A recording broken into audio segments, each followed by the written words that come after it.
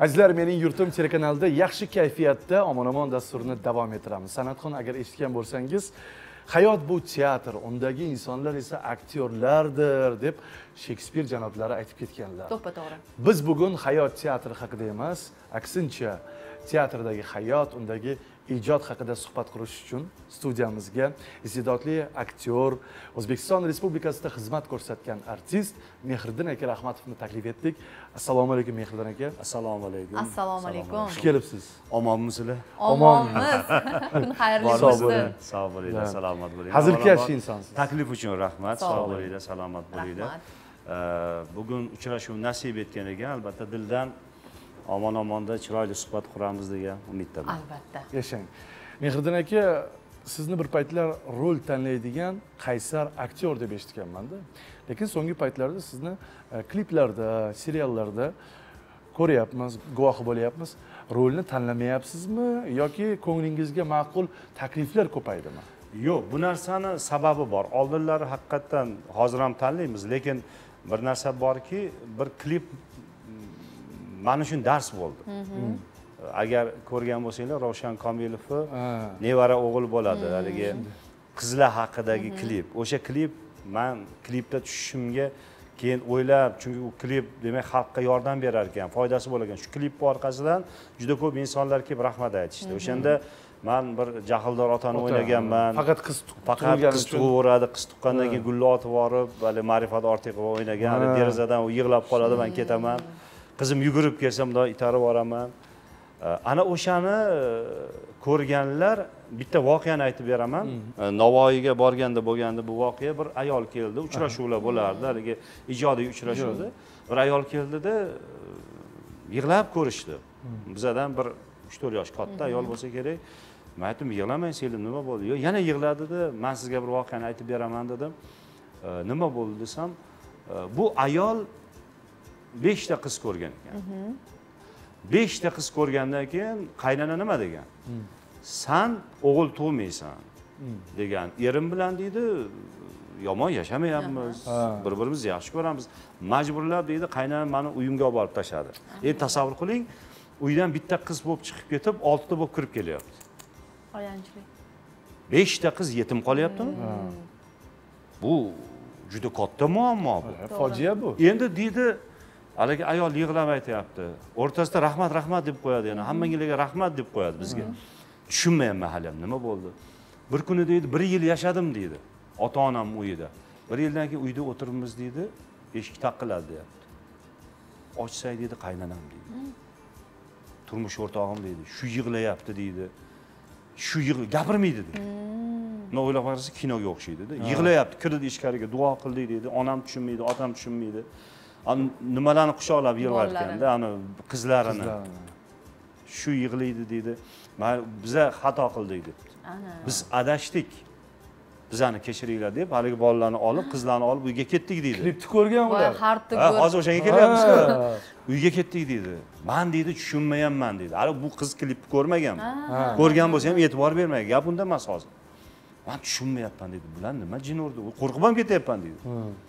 Mani uyga olib ketishdi ish qilib narsa qilib qo'yishmaydim deb qo'rqyapman ham deydi uyga borib haligi joyda oradan bir haftami ikki hafta o'tdi deydi klip ketib qoldi deydi klip boshlanishidan oxirigacha qaynonam o'tirib yig'lab deydi erim ham keldi deydi shundoq qarab qaynonam aytdi menga. Mana shuni olganlarga rahmat. To'g'ri. Shular bizni ko'zimizni ochdi qizim. Ana.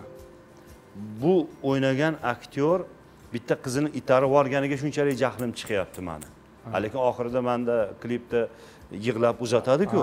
Oxirida uzatdi bu qizlarini. Yomon ko'rib bo'lsa ham yaxshi ko'rib uzatdi. Biz beshta qizni yetim qilib qo'ydik. Shunga yig'ladik. Mani kechir deb kelinidan uzr so'ragan ekan. Mana ta'sir. Ana. O'shani eshitgandan keyin man de- dedim demak o'sha ustozlarimiz aytadi rolni katta kichigi bo'lmaydi. To'ppa to'g'ri katta kichigi o'ynashga bog'liq demak o'sha narsa bizni xalqimizga foydasi tegyaptimi? Kimnidir yomonlikdan qaytaryaptimi e, unda rol tanlashi keragi yo'q deb to'g'ri. o'ylayman. Bugungi kunda sizga o'sha xususiy kinofilmlardan teleseriallardan va shuning bilan birga dublyajda ham talab bor talab kuchli. Va bugungi kunda siz e, milliy teatrda ham faoliyatingizni to'xtatganingiz yo'q aytmoqchimanki nima uchun teatr ko'rgan aktyorlar e, ming o'zlarini o'sha seriallarda kliplarda dublyajda sinashadida lekin tashlab ketisholmaydi shu teatrni. E, san'atkorlar ya'ni aktyorlar tili bilan aytganda bu ham bir kasallikmi? Ish og'ir. Spektakl chiqquncha ish og'ir. Albatta. Spektakl chiqquncha qiynalasiz obrazni qidirasiz topasiz ba'zida topolmay qolasiz shunaqa bo'ladi spektakl chiqib premyera kuni tomoshabinni qarsagida insonni tanasidan g'uborlar chiqib ketadi. Mashaqqatlar. O'sha oxirida o'sha spektakl topshirgandan keyin kimdir turib qarsak chaladi kimdir o'tirib sizni olqish bizni emas o'sha spektaklni olqishlaganda o'sha chiqqan paytda shuncha qilgan mehnatingiz uchun rozi bo'lasiz xalqqa yetdiku shu narsa. Xursand Mazza bo'ldik qildi-yu. ana o'shani keyin yana bir narsa bor. Aktyor uchun bu qadrli bu narsani boshqa odam his qilmaydi. Boshqa kasbdagilar his qilmaydi. Sahnada rol o'ynayotganingizda tomoshabin siz bilan yashaydi. Bir xil shunaqa rollar bo'lardi e, spektakllar o'ynardik. E, masalan rustam spektaklida manda ko'p bo'lardi. Makr muhabbat spektaklida nafas olmasangiz tomoshabin nafas olmaydi. Tomoshabinni orqangizdan ergashtirasizku. Ular sizni eshitadi. Ana o'shani his qilish aktyorlarda bo'lsa qaysi aktyorda shu bo'lsa u teatr tashlab keta olmaydi. Bizda daraxtlar tik turib jon beradi degan spektakl bo'lardi o'shanda tohir akam yomon o'g'ilni o'ynardida. E, rahmatli yair opam onalarni o'ynardi. Endi bir anaqadan haligi qashqadaryodan bo'lsa agar bir chol kelganlarda o'tiribdilar birinchi qatorda. Gapirib spektakl ko'ryapti. Voh, televizor ko'radiku Sharh- gapirib. gapirib. Obbo. Ye yana ye mana shunaqa gapirib ko'ryaptida hech esimdan chiqmaydi kulis orqasida biz hali chiqmagandik sahnaga tohir saidov anaqada e, onasi bilan urushadigan joyi borda onalari bilan yarapam bilan yarapam jahli chiqadi ket deydi. Ket ko'zimga ko'rinma deydida tohir aka nimani oldiga kelib turadi. Sahnani oldiga kelib turganda chol ustida turganda u ham chol pastda turibdi. Yayrab ham ket desa turaveradida mana shu haligi ablah turaveradi. Ket desa turaversa ket desa turaversa haligi chol o baraka topkur senga ket deyapti. Ketmaysanmi deganda ket degandan keyin ketadi. Ket degandan keyin ketadida desa chiqib ketdi. Endi bu yoqqa kulishdik endi haligi chol haliyam ovozi eshitilyaptida. Gapiryapti spektaklni ichida yuribdida u. O'sha Adashib qolgan onaxon personaj. dardini o'sha cholni dardini bilib turibdida. Endi qaytib kiradigan joyi bor. Qaytib kiradi zinadan tepadan tushadi. Naq zinadan ko'rib naq tushasa chol ko'rdida. Obbo yana keldiyu bu deydi qisqasi e, aytmoqchimanki ana o'sha narsalar baribir boshqacha. Mehriddin rahmatov o'zining mashhurligini qachon his qilgan va qaysi obrazdan keyin? Shu mashhurlik borasida mani fikrim borda man o'zim mashhur deb bilmayman. Man mashhur emasman. Man taniqli bo'lishim mumkin. Endi bu mashhurlik bu e, haligi mashhur aktyorman mashhur aktyor deyishadi. Bilmadim. Hali u uchun biz ishlashimiz kerak hali ko'p ishlashimiz kerak masalan shunaqa bir vaziyatlar bo'ladiki man aytaman bu mashhurlik u bizni nimamizda yo'q. Biz taniqli bo'lishimiz mumkin. Tutash taqdirlarda qanaqadir e, haligi hamma rassom rassom deb gapiradigan bo'lib qoldida. Undan oldin spektakl o'ynaganmiz filmlar yodgor o'ynaganmiz. Haqiqiy erkaklar obi juda katta filmlar o'ynaganmiz insonlarga ta'sir qilgani shu bo'ldi. Tutash taqdirlar bo'ldi. O'sha yerda rassom o'ynaganman rustam degan rolim bo'lgan. Ana o'sha rol qanaqadir e, ko'p gapiriladigan bo'lib qoldi. Va klip. O'sha ravshan komilovni klipi qizlar haqidagi o'sha klip ko'proq odamlarga qanaqadir bir ta'siri boshqacharoq bo'ldi. Lekin boshqa filmlar ham orada tushasiz. Ko'p filmlar tushib kelasiz. Ularni e, ko'rishadida demak nimadir o'sha yerda ularni chalg'itadi shekillida. Bu yerda ularga bir ta'sir qilgan nimadir bor shekilli. Iloyim, mana shunaqa- mana shu ikkalasida ko'p shunaqalar e, mana shunaqa ta'sir qiladigan rollar obrazlar ko'payaversin. Mehrdan aka biroz avval konfetlar masalasiga to'xtalgandik. Sir emas bugun kinoda e, asl kasbi umuman boshqa san'atdan bir yuz kilometr narida bo'lgan e, artistlar judayam ko'p qandaydir ro- yo'llar bilan rejissyor prodyuser bilan kelishib juda bo'lmasa bosh rol bo'lmasa ham bir ikkinchi epizodik rollar bilan ikkinchi bosh ham o'ynayapti bosh rollarni ham. Umuman shunaqa rollar ijro etishyaptida sizning partnyorlaringiz orasida biz nazarda tutayotgan o'sha qo'shtirnoq ichidagi artistlar bormi? Umuman ular bilan ishlash qiyinmi yo osonmi sizga? Endi majbur bo'ladigan paytlar bo'ladiyu mana o'zingiz ham o'ynagansiz. Ana shu konfet to'la bir e, filmda ham tushgansiz serialda ham tushgansiz. Qaysi biri edi? Endi aytmayman kim ijodkori uni? Yo'q unda serqirra ijodkori bir. Unda man hammani qiynaganman u, filmda. Chunki man e, shaxsan u filmga kirishimni ham sababi e, serqirra ijodkorga kirishimni sababi. O'zini ham qiynaganman. Juda qiynaganman. Oxiri kechqurun mandan iltimos qildi aka shogirdlarimni oldida mani qiynamang dedi chunki man qo'ymaymanda u narsa man e, shaxsan o'sha yerda o'ynashimdan maqsadim ozgina ularni e, tebratish edi. Tebratish. Man shuni boshida yaxshi lekin afishalarda birinchi planda turibsiz. Birinchida turibman. Yo'q yo'q birinchida man emasman yo'q bor edingiz siz ham bor edingiz man u orqada turaman orqada turaman chunki birinchida pul bermagansiz pul olib ketgansiz pul olganman anvar e, bizani vazifamiz to'g'irlash ularni edi. Lekin undan keyin to'g'risi e, bir marta to'g'irlab bo'ldim qaytib chaqirishmadi. Sababi man yana to'g'irlashga harakat qilaman. Shu ichkariga kirishga majbur bo'laman. Endi o'sha masalada konfetlar masalasida shokoladlar masalasida balkim bizani gapirishga sal bo'lsa ham haqqimiz bordir deb o'ylayman. Endi buni aybdorlari kim?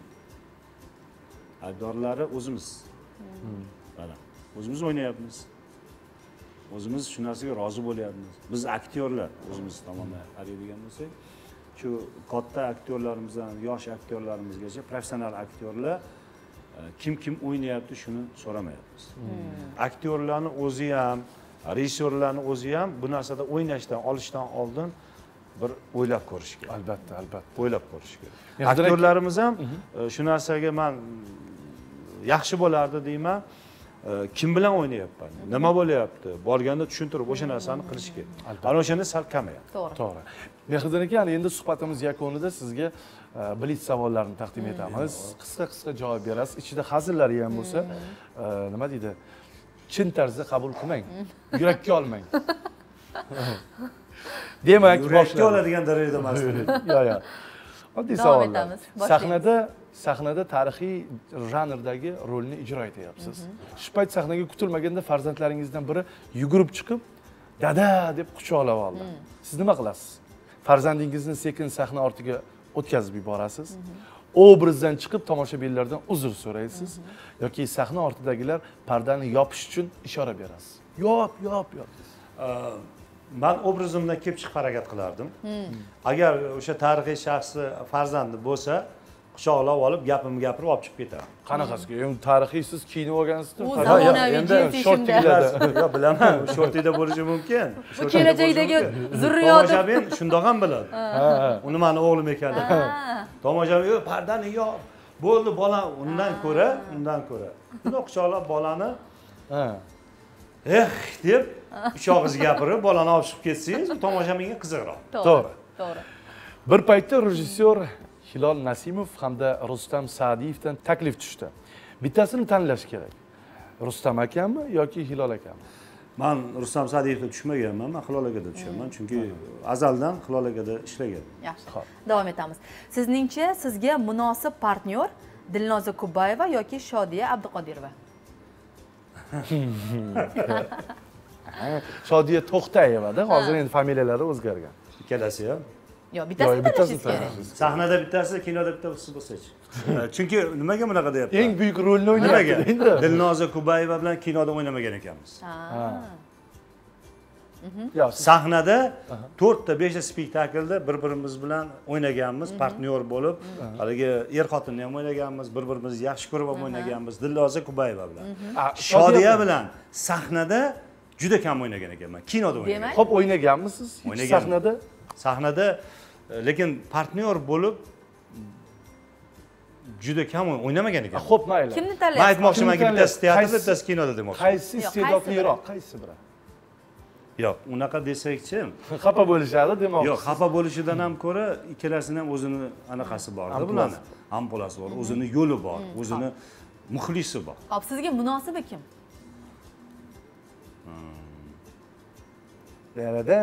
Rosa qiynayaptida dadan Vaqt ketyapti. Mehriddin aka. tezlashamiz Bittasini tanlang. ho'p deylik Qizlar uxlayapti hozir, ko'rmayapti. dilnoza kubayeva dilnoza kubayeva qay biri sizga ko'proq yaqin uchqun tillayevmi yoki tolib mo'minov men bunaqa qilyapsizlar nima qilyapmiz?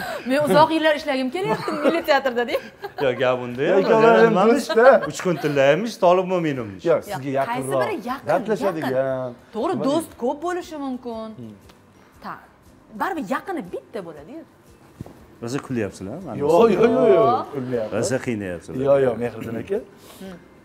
Shunchaki yaqinlik. kun aka tolib aka bu bizni jigarlarimizda biz bir birimizni ajrata olmaymiz egizakmiz deng bundoq qilsak bo'lmaydimi? Qandoq qilasiz uch kun mo'minov Original javob berdi. Zo'r sizni ham qiynamaydi. yoqdimi boya ham aytsam bo'lar ekan o'zi. Dilnoza Dilnoza abduqodir. Xo'sh, davom etamiz tasavvur qilyapmiz. Tasavvur qilyapmiz. Ovoz berish kerakda endi. Siz shu payt Ra'no Yarashevaga ovoz berasizmi yoki Saida Rametovagami? ha mehriddin aka said opamga ovoz berish e, tez gapiradilar ra'no opamga ovoz beradi Ra'no opaga tushadi lekin tushadi tushadi ro'mollarda. yo endi haligi Bu hazil. ra'no opamni anaqa rollariga beramanda haligi Ha, hali sokinroq. Yo'q, haligi spektakllari bor-ku. Ularda zo'r o'ynagan nima edi? Beva. bevalar endi bevalar boshqa Bevalar. Agar tomarisni o'ynasalar shunga Ha, berardi yo'q, bo'ladi. O'zbek kinosida sizningcha yaxshi rejissyor yo'q, yaxshi prodyuser yo'q yoki yaxshi aktyorlar yo'q? yaxshi prodyuser yo'q. Yaxshi prodyuser yo'q. Yaxshi. rejissyorlar e, masalasida ham baribir o'ylash kerak. Baribir o'ylash kerak. Man yaxshi aktyorlar yo'q demayman chunki e, bor aktyorlar. Aktyorlar pachka pachka, juda ko'p. ishlatish kerak. Albatta. to'g'ri.